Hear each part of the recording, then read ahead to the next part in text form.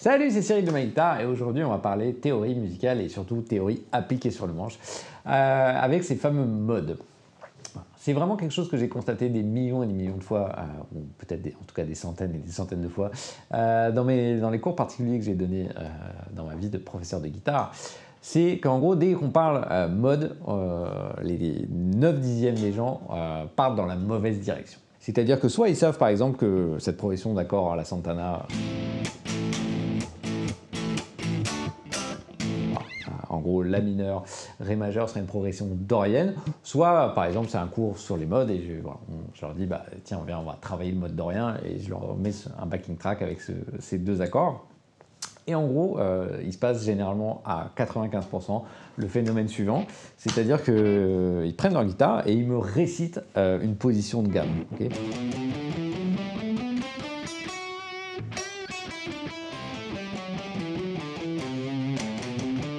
Caricature un peu, mais en gros c'est ça. Alors que si je leur avais juste dit tiens c'est une progression en la mineur, ils m'auraient fait un solo pentatonique, voilà, qui aurait tout à fait tenu la route. et euh, voilà, ça c'est vraiment un, problème qu'ont énormément, énormément de gens, et si je veux être parfaitement honnête, euh, le phénomène m'est sûrement arrivé il y a 20 ou 25 ans. Euh, je l'ai un peu oublié, mais c'est pas grave. en gros, c'est-à-dire que dès qu'on pense à mode, on pense à ces fameuses positions sur le manche, on pense gamme. Alors qu'en fait, euh, l'idée des modes, c'est pas du tout ça. les modes ne sont pas des gammes. Les modes, c'est des couleurs musicales. Euh, si vous voulez en savoir plus, je vous invite vraiment à suivre euh, la théorie d'un peau volume 3 où je décline chaque mode et, je vous parle vraiment de chaque couleur des modes. mais en gros, voilà, si par exemple je prends cet exemple sur le mode dorien, L'idée du mode dorien, c'est que c'est un mode mineur, mais qui est un mode moins sombre que le mode éolien. Et cette différence tient à une seule note. Cette note, c'est la sixte mineure. C'est-à-dire qu'en fait, si vous prenez le mode éolien, le mode mineur naturel, vous avez 1, 2, bémol 3, 4, 5, bémol 6, bémol 7. Et le mode dorien, c'est le même, mais avec une sixte majeure. Et en fait, cette petite note qui n'a l'air de rien, ce petit demi-ton, il fait une différence absolument énorme. Euh, c'est-à-dire qu'en fait, je vais vous donner un exemple, hein, la, la six mineure, c'est une note hyper hyper sombre, hyper forte. on pourrait prendre... Euh, le fameux exemple de Dark Vador, la, marge de l'Empire Galactique, où il y a effectivement fondamental, sixth mineur, tierce mineur, fondamental. ça tient grosso modo sur ces trois notes. Et qu'effectivement, euh, si la sixte de Dark Vador avait été majeure, Dark Vador eût été euh, moins, moins effrayant. Euh, ça aurait été moins ce super mauvais héros de la culture pop. Bref, je pourrais prendre la musique d'Halloween aussi quinte euh, fondamental, quinte, six mineur. Même, même constat. Si je fais ça, tout de suite, euh, le méchant au, masque blanc et au couteau, il est moins effrayant. Ok, donc la six mineur est vraiment une note forte qui est une note très sombre, très mélancolique. Donc du coup, en gros, le mode dorien, qu'est-ce que c'est? C'est un mode mineur, donc mélancolique, mais moins sombre, moins mélancolique. Et c'est comme ça qu'il faut l'aborder. Il faut surtout pas se dire le mode, euh, voilà, le mode dorien, il va avoir cette tête-là. Parce qu'en gros, c'est le grand problème que rencontrent énormément de guitaristes, c'est qu'en fait, quand ils se mettent à jouer des modes, euh, ils oublient leur savoir de base. C'est-à-dire que généralement, quand on se confronte au mode, on est déjà un guitariste relativement avancé, on sait déjà faire pas mal de choses, ok? Et tout d'un coup, euh, voilà, on, rencontre cette espèce de chose qui a l'air très compliquée, très abstraite, très, très tout ce qu'on veut, et euh, on se dit, bah, il faut absolument que je sois assez scolaire, et du coup, je récite ma gamme, ta ta ta ta ta, et on se gourre complètement. C'est-à-dire que jouer de rien, euh, c'est pas plus compliqué que jouer autre chose. C'est juste qu'il faut se mettre dans ce mood, de se mettre dans cette couleur, et qu'il faut surtout jamais perdre de vue qu'en fait la base de vos solo rock, c'est pas le mode dorien ou le mode ceci ou le mode machin.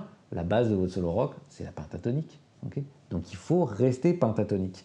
Donc dans la pentatonique mineure, qu'est-ce que vous avez? Vous avez fondamental, tierce mineure, quarte, quinte, septième mineure. Donc l'affaire est réglée, vous n'avez pas de sixte ni majeur ni mineur. Donc, si vous voulez jouer Dorian, qu'est-ce que vous allez faire Au lieu de me réciter votre gamme là,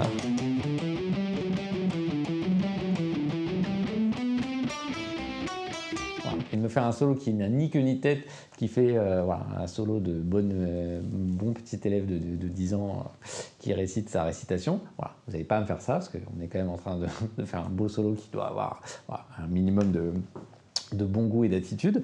Ce que vous allez faire, c'est que vous allez prendre comme base votre pentatonique, ok vous allez continuer à me jouer tous ces plans que vous jouez si bien d'habitude. Euh, et ce que vous allez faire, c'est que vous allez simplement rajouter la sixte. ok et c'est effectivement, vous allez rajouter la bonne sixte, c'est-à-dire la sixte majeure, qui, si je prends ma, progression d'accord Santana là, est effectivement la sixte majeure de La. Ok, ce Fa dièse ici, mais euh, est aussi la tierce durée la tierce majeure durée. C'est pour ça que la progression 1 mineur 4 majeur vous commande de jouer Dorian. ok? On ne joue pas Dorian pour le plaisir, ok? Pour faire bon élève, on joue Dorian parce que la progression qui est derrière nous, elle nous demande de jouer Dorian. Donc, euh, qu'est-ce qu'il faut faire du coup? Encore une fois, il faut sortir de cette position de la gamme et il faut simplement se dire voilà, je vais faire mon solo pentatonique rock classique et je vais ajouter cette note-là. Le Fa dièse que je vais trouver ici ou alors ici ou ici, bref. Et donc du coup, euh, voilà, mon plan classique, je sais pas... Euh,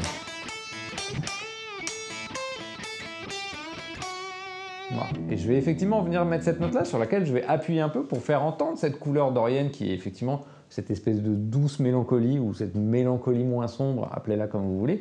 Mais en gros, c'est ça jouer avec les modes, c'est de faire entendre cette couleur tout en respectant votre savoir et tout en en, faisant appel à ce que vous savez faire. Ça, vous savez faire des solos rock classiques pentatoniques. Du coup, mettez juste la, pentatonique avec la bonne couleur en plus. il faut garder votre cadre pentatonique, c'est ça qui est hyper hyper important. Il faut surtout pas se dire oh c'est les modes, c'est une autre affaire que la pentatonique. Non, les modes c'est pas des gammes. Il y a effectivement des, positions de gamme qui s'y rapportent, mais c'est pas ça les modes. Mais c'est donner cette couleur tout en gardant votre cadre pentatonique. ok? Et encore une fois, euh, voilà. si vous voulez vous en convaincre, euh, et vous ne croyez pas ma, bonne parole, Pensez au, grand solo classique de rock. Si vous pensez, je sais pas, Stairway to Heaven, qu'est-ce que fait un Jimmy Page? Ok, Stairway to est donc dans une, progression d'accord éolienne, ok, euh, ou mineure naturelle. Qu'est-ce que va faire Jimmy Page? Jimmy Page va jouer de la pentatonique, et puis il va ajouter euh, le Fa, qui est donc la sixte mineure euh, de, La, quand l'accord de Fa va tomber derrière. Donc en gros, il garde son cadre principal pentatonique et puis il ajoute cette couleur effectivement de sixte mineur qui là n'est pas un mode dorien mais bien un mode éolien mineur naturel. Il vient donc faire entendre cette sixte mineure qui est donc encore une fois une note assez forte, assez sombre. Euh, voilà. Mais il ne se met pas tout d'un coup à réciter une espèce de mode ou une espèce de gamme, je sais pas quoi. Il garde son, cadre principal de la pentatonique. Si vous prenez euh, les Eagles dans l'hôtel californien, c'est exactement la même chose. C'est-à-dire que Là, euh, la progression est beaucoup plus compliquée, ça n'arrête pas de changer. on est d'abord en si mineur, puis ensuite on va partir en, si mineur harmonique, et puis ensuite on va être en dorien, puis ensuite on va être en, en éolien, puis on va revenir en, en mineur harmonique. Mais en gros, euh, ce que fait un Joe Walsh, c'est exactement la même chose. Il garde son cadre pentatonique principal et puis il vient ajouter par-ci par-là la note qui fait que bam, il surfe sur les accords et du coup il nous fait entendre ces couleurs. Mais il faut surtout pas se dire euh, que euh, simplement parce que on serait dans un truc d'une étude des modes, il faut sortir de ce qu'on sait faire. Ce qu'on sait faire et ce qu'on sait bien faire, c'est de jouer des solos pentatoniques et il faut absolument garder ça parce que encore une fois, les solos que vous aimez, ils sont sur des progressions qui font appel à des modes. C'est les guitaristes en question qui font des solos par-dessus, soit ignorent complètement ces modes, euh, ce qui peut être le cas par exemple d'un Angus Young, même si de temps en temps, voilà, il va surfer un peu avec le, mix mixolydien, il va quand même massivement rester pentatonique. Ou soit, encore une fois, des guitaristes comme Jimmy Page, euh, ou je sais pas, un David Gilmour qui va plutôt mettre la, seconde majeure, ou euh, voilà, Joe Walsh des Eagles. Bref, on pourrait prendre voilà, toute une série d'exemples. Mais encore une fois, voilà, euh, toutes ces, fameuses chansons font appel à des modes. En l'occurrence, dans les CDC, quasiment toutes les chansons sont mixolydiennes, en tout cas une énorme partie.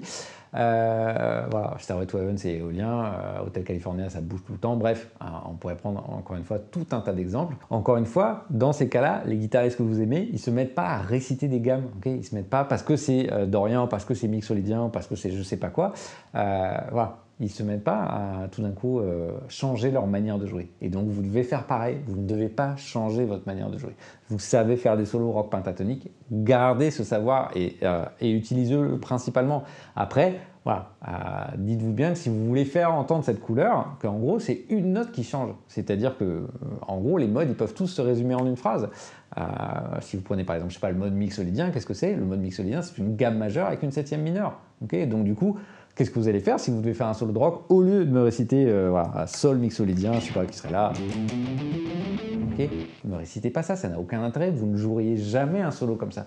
Ne vous mettez pas à le faire sous prétexte que c'est en sol mixolydien.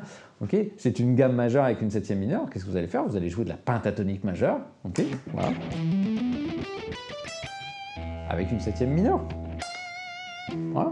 Et puis le tour est joué. Ok Etc. Euh, etc. Encore une fois, euh, le dorien euh, c'est un mode mineur mais avec une sixte majeure, faites-moi de la pentatonique mineure, bam, et mettez la sixte majeure si ça vous chante, vous n'êtes pas obligé de la mettre, ok? Mais si vous voulez faire entendre cette couleur, c'est comme ça que vous allez le faire. Le mode éolien, c'est de la pentatonique avec une sixte mineure, bam, etc. etc. Euh, si vous voulez faire phrygien, ça va être de la pentatonique, hop, quelle est la, note qui va changer? C'est la seconde mineure, donc voilà, mettez cette seconde mineure et puis ça fera très bien l'histoire. Le mode lydien, c'est un mode majeur avec une carte augmentée. Boum, faites-moi de la pentatonique. Euh, encore une fois, faites un solo comme vous le feriez naturellement. Si vous ne le saviez pas, vous, feriez un solo qui serait beaucoup plus naturel, euh, beaucoup plus proche de ce, que, ce qui serait votre personnalité musicale. Et c'est pas parce que tout simplement, ça serait voilà, le monde des modes qu'il faudrait changer votre personnalité musicale. Encore une fois, euh, les guitaristes que vous aimez, quand ils surfent sur les modes et ils le font très bien, en fait, ils font leur solo habituel c'est juste qu'ils donnent éventuellement à entendre telle ou telle couleur. Et donc voilà, euh, si vous faites du, lydien, faites de la pentatonique majeure et puis venez mettre cette carte, euh, euh, cette carte augmentée et puis ça ira très bien. donc encore une fois, ne, perdez pas, ne perdez pas le nord.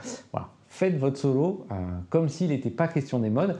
Et si vous voulez vraiment donner cette couleur, euh, saisissez à chaque fois l'essence même du mode. Encore une fois, un mode lydien, qu'est-ce que c'est? C'est une gamme majeure avec une carte augmentée. Donc jouez de la pentatonique majeure avec une carte augmentée. encore une fois, ne, perdez pas le nord sous prétexte qu'il serait question de jouer des modes. En gros, toutes les, toutes les progressions du monde appartiennent plus ou moins à un mode.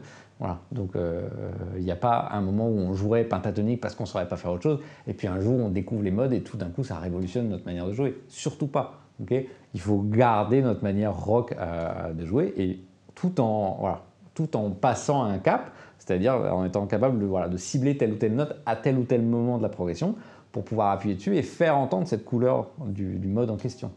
Mais surtout, en gros, je vous le dis parce que c'est vraiment quelque chose que j'ai rencontré, voilà, des, gens qui savaient, euh, encore une fois, pertinemment faire plein de super solos de rock et du jour au lendemain où on passait à l'étude des modes, ils se mettaient à faire des à se mettre à réciter des positions de gamme, ce qui n'a strictement aucun sens. Et tout d'un coup, leur solo devenait euh, complètement nul.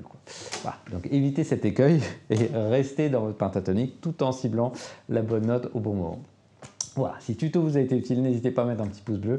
Abonnez-vous à notre chaîne YouTube si ce n'est pas déjà fait. On se retrouve très bientôt sur myguitar.com. Et encore une fois, voilà, si vous voulez tout savoir des modes, la théorie d'un peau, volume 3. Ciao, ciao